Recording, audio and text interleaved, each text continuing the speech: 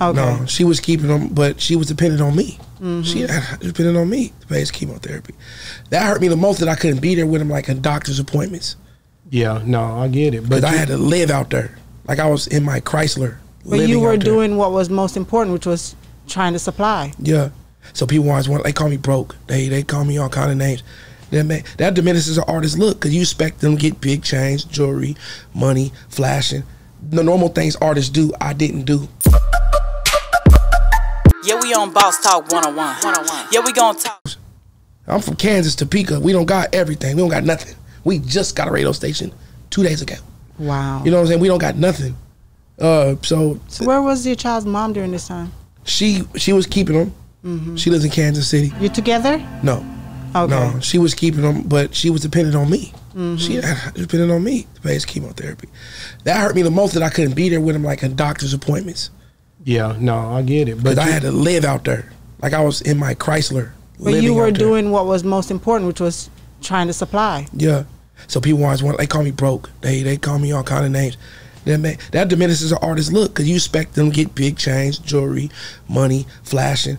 The normal things artists do, I didn't do. But I love that. I love that because me coming from Jamaica, when I hear you talk about even kids growing up and you know people wanting to have this and wanting to have that, I didn't care. I was a tomboy, so I was too busy running around on the street playing soccer and mm-hmm. you know beating up all the boys and doing all of that sort of stuff. Yeah. So I had one pair of shoes, but I didn't look at it as something bad. I'm like, we grew up.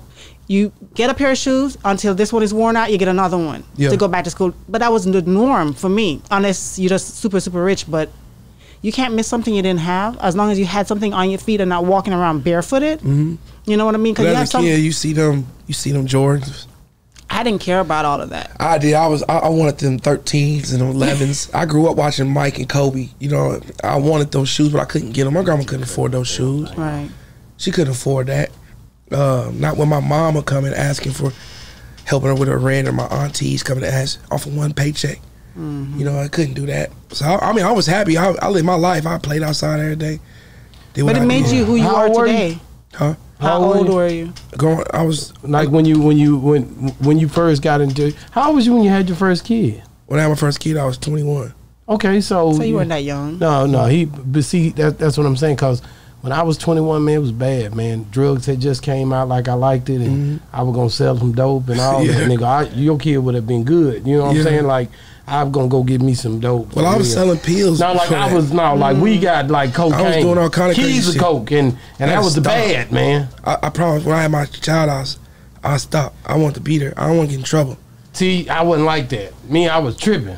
Like I was gonna try to make everybody in the hood good. I went to jail one time, and I was like, "Fuck." No, no, I went and then I, I lied and said I was my brother.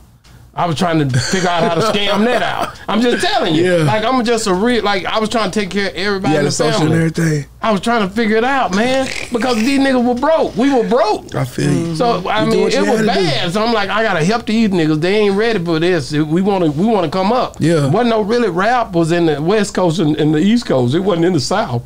So you, in, during my time, you had to go get it. Mm-hmm. Yeah. So for you to be, I, I thank God that that you made the right decision for your kids. You know what I'm saying? Because I didn't. I had to go away for a second just to you know recoup this mindset to get back and know. That's because parenting to me means a lot.